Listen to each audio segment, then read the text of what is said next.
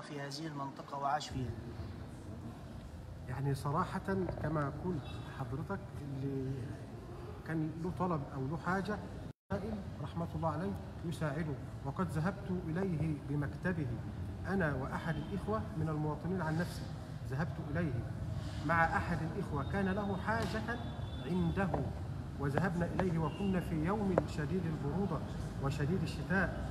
فاستقبلنا استقبالا حافلا ورحب بنا وأجلسنا وأكرمنا ولبى حاجة هذا الرجل الذي كنت معه في مك... وهو جالس في مكتب اتصل بالتليفون وقضى حاجة هذا الرجل. يعني يقول رسول الله صلى الله عليه وسلم لأن أمشي مع أخي لي في حاجة أحب إلي من أن أعتكف في مسجدي هذا شهرا.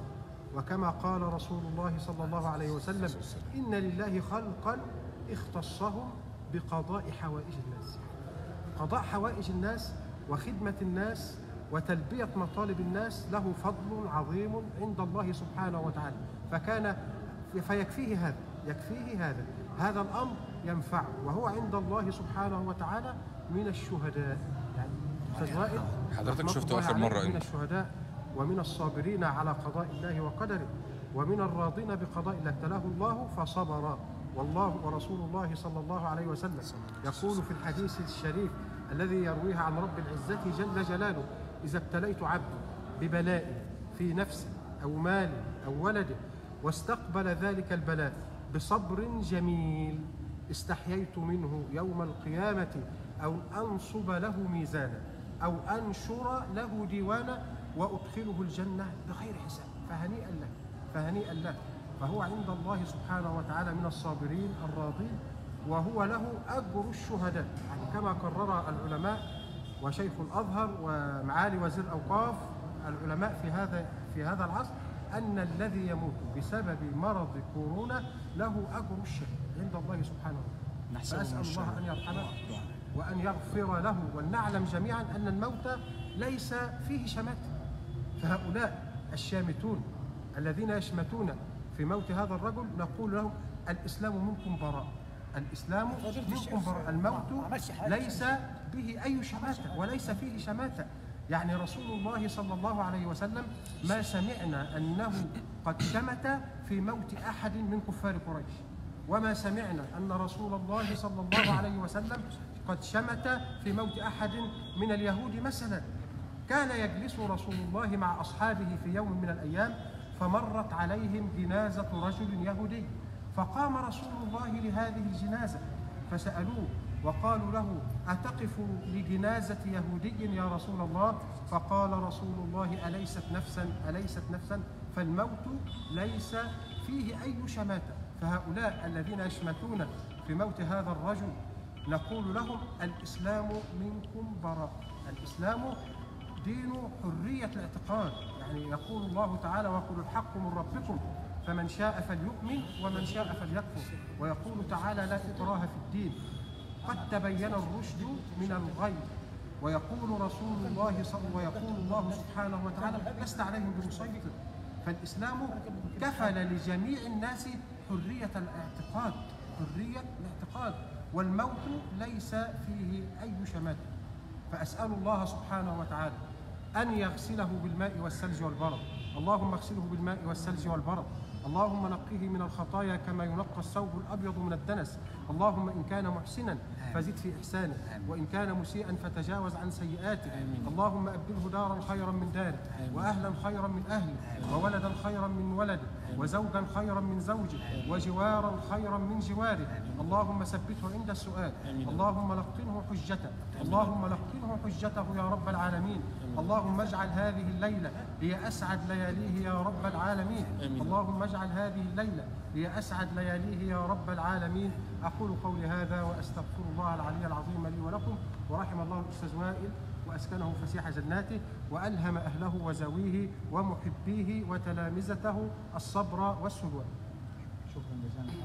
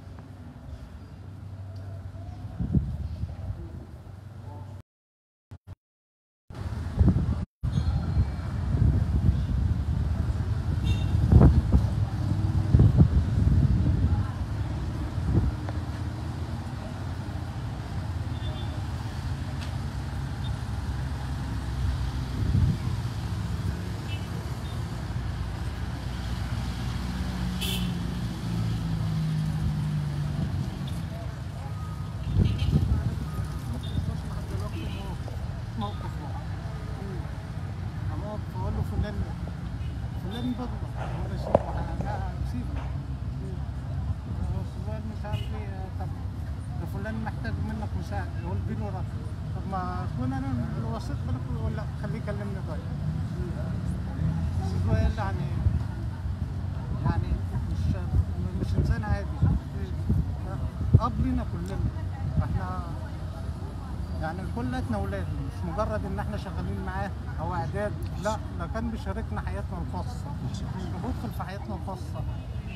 كان أي حاجة بنحتاجها منه كان يعني لو شاف واحد مكتئب أو واحد حزين مش ما يسكتش غير لما يساعد لو شاف واحد مزنوق في فلوس يساعد لو شاف واحد زي ما زي ما حضراتكم متابعين دي أسرته زوجته أولاده في حالة انهيار تام.